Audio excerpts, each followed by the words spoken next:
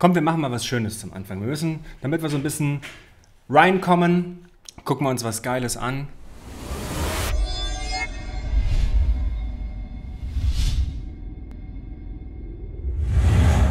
Und zwar sind jetzt gerade die Ergebnisse rausgekommen des Underwater Photographers of the Year 2022. Gucke ich mir immer gerne an. Wisst ihr schon, ich bin großer Fotofreund, ich bin großer Fotografenfreund.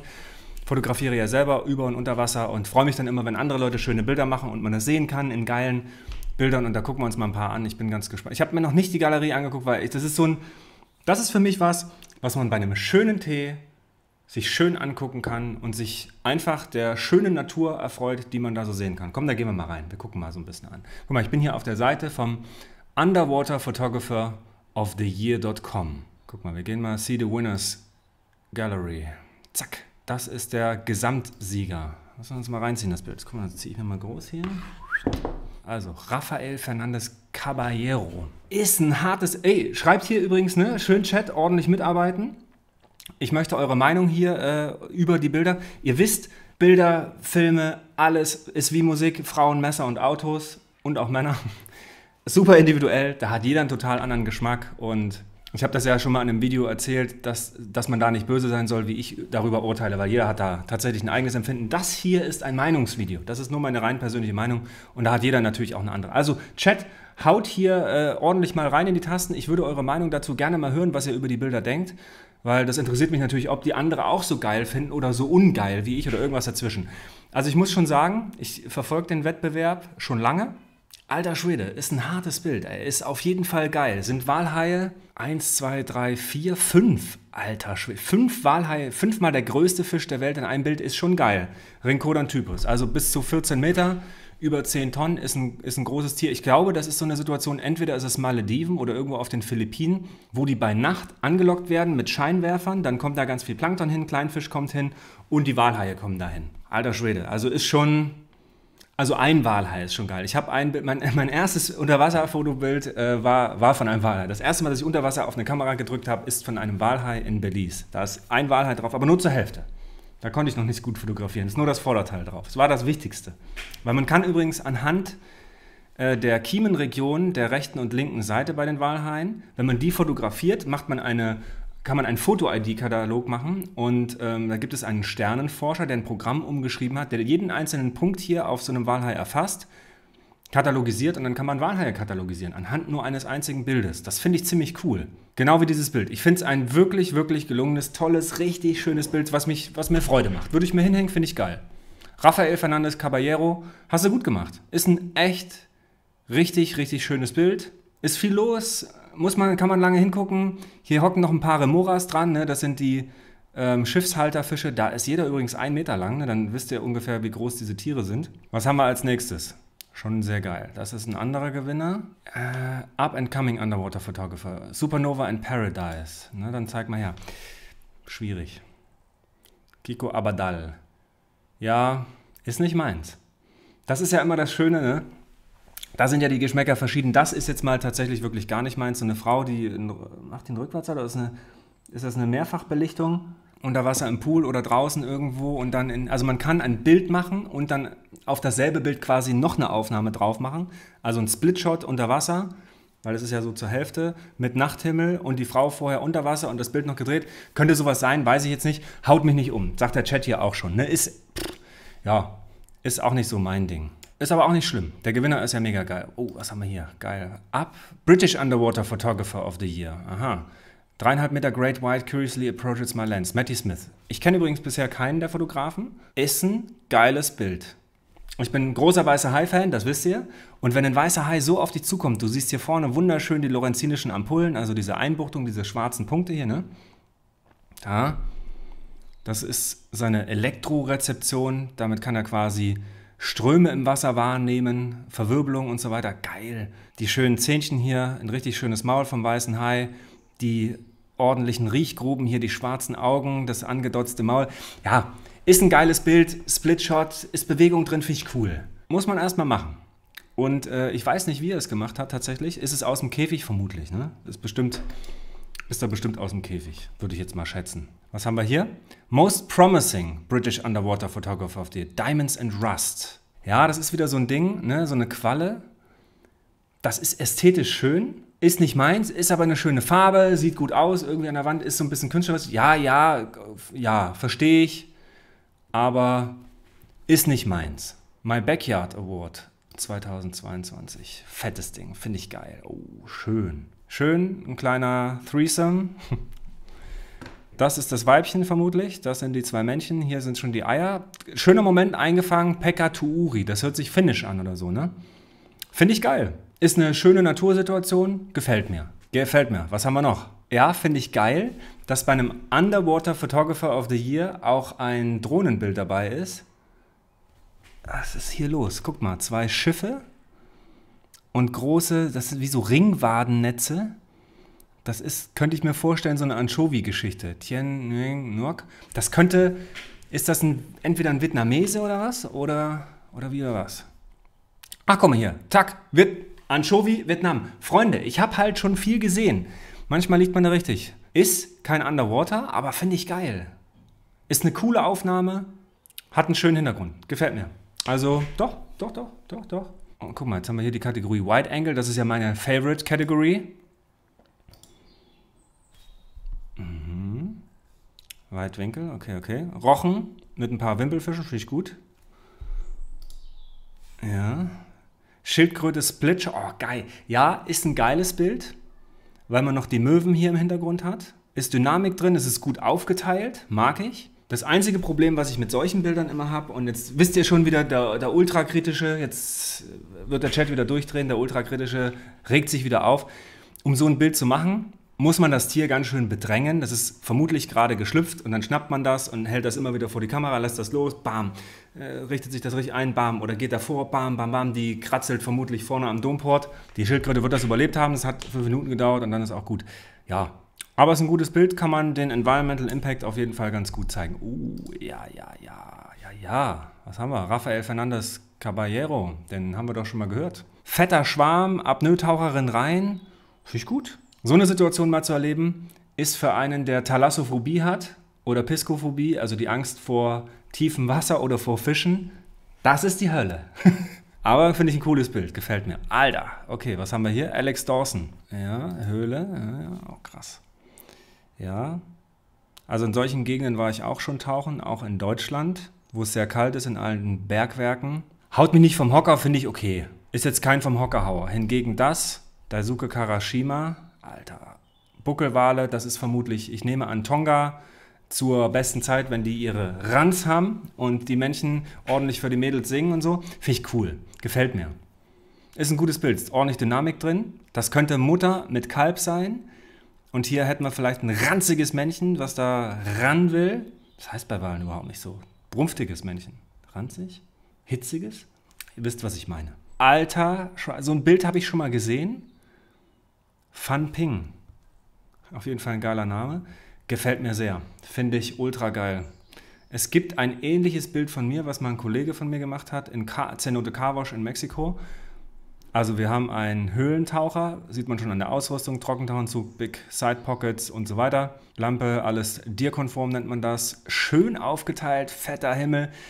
Hier kommt viel zusammen, also die Farbe des Wassers, des Himmels, Ah, fände ich geil. Hier so ein Baumstamm im Vordergrund oder was. Gefällt mir. Ist ein, ist ein hartes Bild, sieht aus wie aus einer anderen Welt. Finde ich wirklich, wirklich toll. Gefällt mir gut.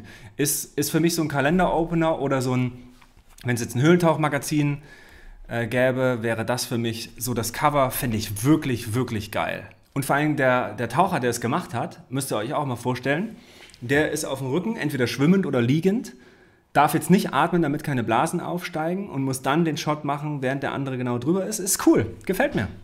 Gefällt mir. Aber hier schreiben auch schon wieder Leute, äh, mag ich nicht so. Ja, ne, das ist äh, abgefahren. Die Farben kommen, äh, das Grüne könnten Algen sein, das Gelbe könnte der Himmel sein, das Rote könnte etwas Schwarzwasser sein in einem Sonnenuntergang. Also so kommen die Farben zusammen. Das habe ich in Höhlen selber auch schon gesehen. Wie gesagt, in Mexiko gibt es eine spezielle, die immer wieder so Algenblüten hat, wo man manchmal völlig verrückte Bilder machen kann. Also das sieht schon so aus, das ist nicht bearbeitet, weil bearbeiten kann, nochmal, könnt ihr die Bilder nicht, wenn ihr bei Wettbewerben die einreicht, müsst ihr immer das Negativ oder das RAW mit einreichen.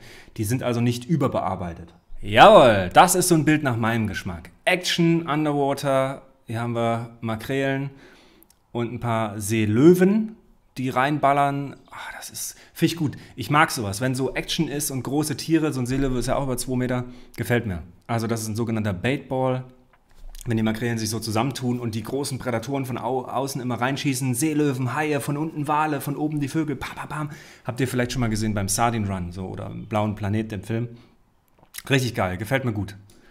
Ja, ne? So Schildkröten, Splitshots, im Sonnenuntergang, das sieht cool aus, aber wenn man weiß, wie solche Bilder gemacht werden, so die Schildkröte geht an die Oberfläche, dann atmet die meistens für drei Sekunden ungefähr, macht einmal und taucht dann wieder ab. Und wenn man die dann dabei so bedrängt oder stört und die muss irgendwann hochkommen, ne? man wartet dann an der Oberfläche, sieht, die Schildkröte muss jetzt wieder nach oben kommen, dann geht man dahin, drückt drauf, man muss das Tier für so ein Bild leider sehr bedrängen. Die kommen nicht von alleine ran und lassen sich so fotografieren. Das finde ich immer eher so ein bisschen das kann man, kann man machen, aber ich bin da ethisch anders gelagert. Nichtsdestotrotz ein okayes Bild. Wer mich kennt, ihr wisst es schon, ich bin kein großer Makrofreund, ne? Ah, das sind so Eier von Anemonenfischen. Ich habe selber lange Nemos gezüchtet, also Amphiprion, Ocellaris zum Beispiel, drei Binden Anemonenfische. Da sieht das Gelege auch so aus, was die immer unten an der Anemone ab. Also ihr kennt das ja, ne? Also so eine Anemone ist ja aufgebaut wie so ein Baum und oben hat die Tentakelkrone und ist super giftig und nesselt alles weg, was zu nahe kommt. Und da drin leben dann die Nemos. Da gibt es ganz verschiedene Arten und die legen ganz gerne unten am Stamm der Anemone oder an dem Stein, wo sie drauf sitzt oder auf der Koralle, legen die ihre Eier ab. Und das sind dann alles so kleine Eipfröpfchen, sag ich mal, wo die kleinen Nemos alle drin hocken. Und dann, wenn der Mond ganz besonders steht, dann leichen die ab. Übrigens auch im Aquarium. Ist nicht so einfach zu takten. Und wenn man nicht schnell genug ist und die einsammelt, dann fressen die die leider auch auf, die dämlichen Trottel. Aber sie sind ganz leicht nachzuzüchten, deswegen gibt es ohne Ende äh, Nemos in, in deutschen Aquarien. Musste erstmal so aufnehmen. Sieht schon cool aus. Ja, doch. Lass ich, lass ich durchgehen, sieht cool aus. Was haben wir hier? Mexiko? An Blenny. Okay, geil. Ja, ja, ja. Doch. Ist mal ein Makrobild? Finde ich geil. Wow. Super Bild. Hannes Klostermann, hast du gut gemacht, ey. Finde ich, find ich wirklich mega geil. Also ein Blenny, ein Blenide ist so ein, ein spezieller Fisch, der sitzt immer gerne auf Steinen, in Ritzen und so weiter, sind mit den Grundeln äh, nah verwandt und sehen manchmal so aus wie kleine Drachenmonster. Fritz und ich haben die zum Beispiel auch auf den Azoren gesehen, die Blennys. Habe ich ihm gezeigt. So im rauen Küstenwasser sind wir so rumgeschnorchelt, während so die, die Köpfe an die Felsen dengeln, sieht man die. Hier die Frage gerade, ist das ein reiner Männer-Contest von Dunja Redhead? Ähm, es gibt nicht so viele Unterwasser fotografierende Frauen. Also in Deutschland, guck mal, kenne ich, ich würde sagen, ich würde die, die meisten Unterwasserfotografen vom Namen her zumindest kennen. Ähm, Unterwasserfotografinnen kenne ich jetzt in Deutschland. Vanessa Karakör. Ulla Lohmann fängt gerade so ein bisschen an. Jetzt will ich niemandem zu nahe treten und bestimmt habe ich auch wirklich welche vergessen. Aber ihr seht schon, ich tue mich schon schwer. Und international, Jill Heinert, dann die Frau, die diese geilen Sandtigerhai-Aufnahmen macht. Wann, ach, jetzt wollte ich schon sagen, Vanessa Tamkan, aber ich weiß nicht mehr, wie sie heißt. Also, es gibt nicht so viele Unterwasser fotografierende Frauen. Es gibt sowieso nicht so viele Wildlife-Photographer-Frauen. Das siehst du auch in den, ich habe ja nun mittlerweile alle Wildlife Photographers of the Year. Und da siehst du nicht super viele Frauen. Das ist tatsächlich so. Klar fotografieren Frauen auch genauso wie Männer, aber es ist noch eine ganz schöne Männerdomäne. Ich kann euch nicht sagen, warum. Ich habe noch nie eine Unterwasserfotografin getroffen. Leute, wieso habe ich eigentlich gesagt, dass ich kein Makrofreund bin? So ein kleiner Grundeltyp oder Klingfisch, weiß ich nicht, was das jetzt für einer ist, der so auf einer Anemono abhockt oder was? Oder das ist doch. Oder warte mal. Mit einem, mit einem Optical Snoot ist ein Gobi, C-Pen. Also ein Snoot ist auch gerade. Ach, das, ist, das führt zu weit, so technikmäßig. Aber es ist ein tolles Bild. Ja, mag ich auch. Diese Blackwater-Geschichten hat Tobias Friedrich auch viel gemacht. Andrew Johnson, auch berühmter Fotograf, ist geil. Müsst ihr euch vorstellen, ihr schwebt nachts im offenen Ozean. Alles ist schwarz um euch rum. Da können weiße Haie sein, Wale, Delfine, alles ist um euch rum möglich. Man leuchtet nur etwas an, ganz viel Plankton kommt hin und viele Tiere der Tiefsee kommen nachts langsam nach oben und snacken dort Plankton weg. Und dann kann man solche Aufnahmen machen in den Blackwater Dives, finde ich schon geil, ey. Das sieht sehr alienmäßig aus, ne? So wie dieser äh, Anfangsparasit von Alien, der sich am Gesicht festsaugt, finde ich, ist ein geiler, ist, ist, ist ästhetisch, guck mal, ist wirklich cool. Ist nicht ganz einfach, das zu fotografieren. Habe ich selber auch noch nie so richtig gut gemacht. Gefällt mir. Gut gemacht. Ja, mag ich auch. Finde ich schön. Ist, ist, ist, ist so ein bisschen künstlerisch. Ne? Ich bin kein großer Freund der ultra künstlerischen Bilder, aber so, wenn man sich das jetzt so ins Wohnzimmer hängen würde, fände ich das geil. Auch mit dieser Bewegungsunschärfe.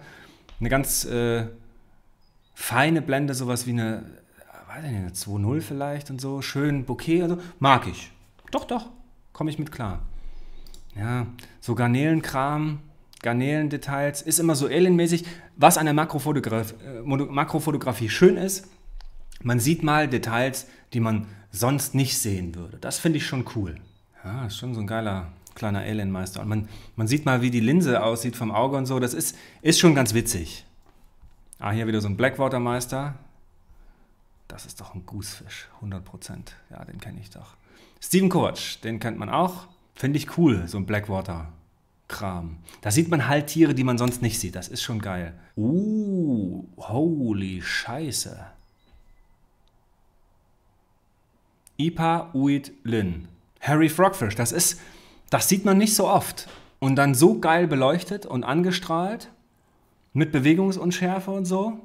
Respekt, Wahnsinnsbild. Korallenschrimps, die sind immer gut. Die leben in Korallen oder Anemonen, machen die sauber, äh, werden dadurch geschützt. Und man, das sind die, wo die typischen Ägypter, Ägypten-Taucher hingehen, ihren Mund aufmachen und dann äh, den Atemregler rausnehmen, den Mund aufmachen, dann kommen diese Garnelen und reinigen einen die Zunge und die Zähne und kommen da rein und so. Finde ich ganz witzig, die Viecher.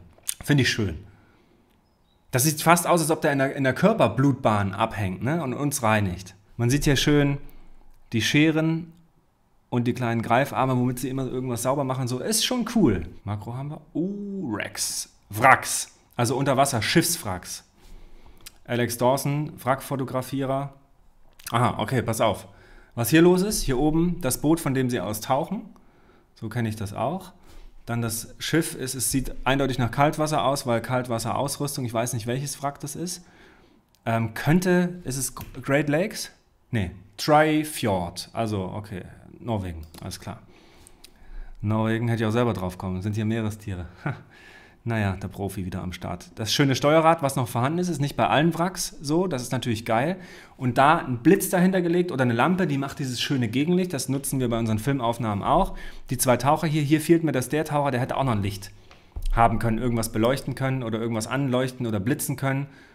Man hätte, ich hätte hier unten noch ein Licht hingelegt, dass man den Bug so ein bisschen mehr abzeichnet, aber grundsätzlich, komm, lass mal gelten. Ich bin jetzt kein so großer Wrack-Freund, die verdecken nur die Sicht auf die Haie. Haha! Das finde ich doch mal ein bisschen schöner. Hier haben wir, das Wrack spielt keine so große Rolle. Wir haben einen schönen Zacki. Das finde ich schon ganz gut. Hier oben ein Taucher, der in die Kamera guckt mit Licht. Ja, das, das hat eine schöne Dynamik. Finde ich schön. Oh, geil hier, ey. Das ist aber geil. Alter Schwede, wieso ist das denn kein Gewinner? Zwei junge Hechte, ey.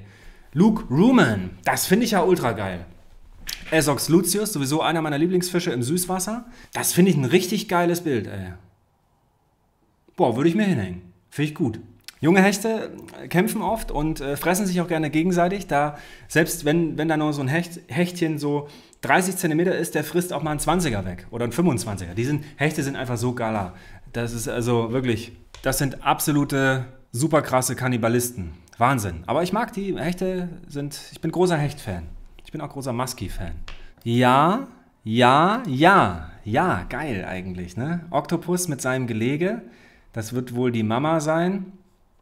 Also das wird nicht wohl die Mama sein, das ist die Mama, die das Gelege bewacht und nichts mehr frisst und irgendwann stirbt, wenn die Jungen geschlüpft sind.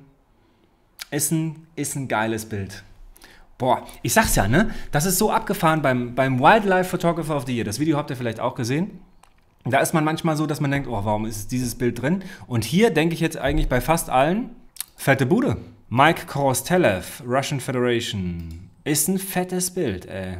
Also wenn im Wasser gemacht, hat der Typ die zweitgrößten Eier der Welt. Nach dem Vater, ihr erinnert euch, mein, mein Krokodilvideo, der das Kroko äh, geschnappt hat beim Kindergeburtstag.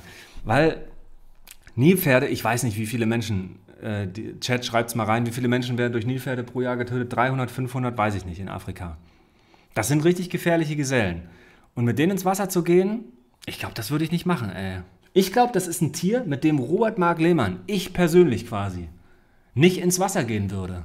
Aber ich weiß nicht, wie dieses Bild entstanden ist, weil es gibt auch, ähm, es gibt ja Eisbärenfotos, Splitshots und so weiter oder auch Bärenfotos.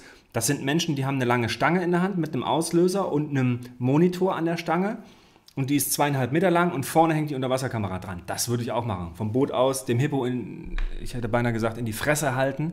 Aber das ist ja ein, eine Schnauze, laut äh, biologischer Definition.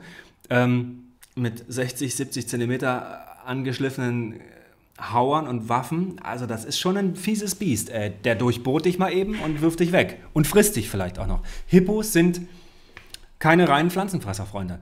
Ich habe Hippos schon am Zelt gehabt in Kenia, da habe ich mich fast zu Tode gefürchtet, die wirklich so früh das Gras gefressen haben, direkt vor meinem Zelt, Zelt aufgemacht, rausguckt Hippo, wieder zu und gehofft, dass sie mich nicht fressen. Es gibt sogar ein Bild davon. Ich bin sogar noch mal rausgegangen und habe mit einer damals noch EOS 7D, glaube ich, und draufgehalten, alter Schwede. Völlig geistesgestört. Von mir, das hätte auch anders ausgehen können.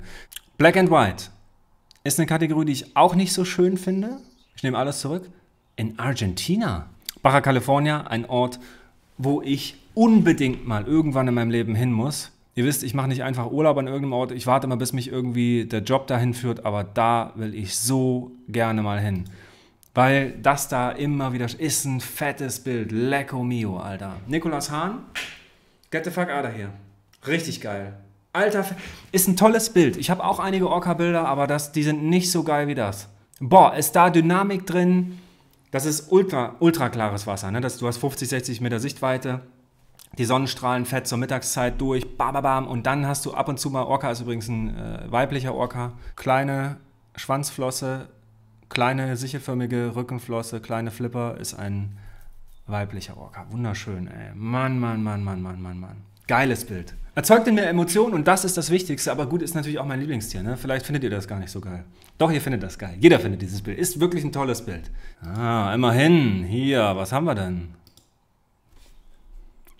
Kleinstbewegungsunschärfe. Nur so ein, so ein, so einen kleinen Peak Bewegungsunschärfe finde ich aber gut von einem Blauhai. Mag ich. Mag ich, mag ich, mag ich. Doch, doch, doch, doch. Aber es ist, wie gesagt, ne, es ist nicht jeder, jedermanns Sache. Hier, schön, British Waters Makro. Ich bin ja eh so ein Kaltwasserfreund. Und so eine Bleniden. Ach doch, finde ich doch süß. Sind doch geil, wie sie da drin hängen. Vielleicht Männchen, Weibchen, hängen da schön ab. Ja, Alter, wie viele British Waters Living Together. Meine Fresse, wie viele Kategorien gibt es denn hier? Ah, das ist alles nicht so mein Ding. Oh, Pascal Vassaio, Italy. Geiles Bild so traurig es ist, aber was für ein. Also für eine Kampagne, wenn du jetzt eine Kampagne gegen das Fischessen machst oder Geisternetz oder wie auch immer, das sind Makrelen, ne? Gutes Bild. Vermutlich ein Fischer, der gerade sein Netz einholt, ne? Ja, ich mag sowas, weil es sind äh, Bilder, die auf Umweltprobleme hinweisen. Das ist nicht so einfach, ein, ein schönes Bild zu machen, was einen Effekt erzeugt. Tja, aber geiler Wettbewerb. Also bewegende Bilder. Zieht euch das mal rein, lest euch die Geschichten zu den Sachen durch. Link packen wir euch natürlich unten rein. Underwater Photographer of the Year. Viele schöne Sachen.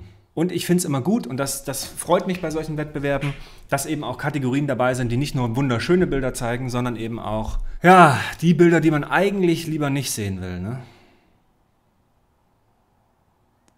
Gehört dazu. Das gehört zum Leben dazu und das bewegt unter Umständen, wenn man sowas bei einem Vortrag verwendet oder so oder bei Kindern oder dass Leute eben sehen, das erzeugt das Umdenken. Von daher finde ich das gut. Geht mal auf die Seite, zieht euch das rein. Man kann da auch die alten Wettbewerbe sich anschauen. Ich finde das immer gut, weil man kann so ein bisschen seine Fotografie-Skills äh, äh, verbessern. Man kann was lernen. Man sieht tolle Bilder. Also ich beschäftige mich gerne mit sowas und ich setze mich auch ganz gerne mal hin und äh, lese die entsprechenden veröffentlichten Bücher dazu. Underwater Photographer of the Year 2022. Wir gratulieren nochmal Rafael Fernandez Caballero. Fettes Gewinnerbild. Herzlichen Glückwunsch. Ich ziehe meinen Hut. Sehr geil gemacht. Echt cool.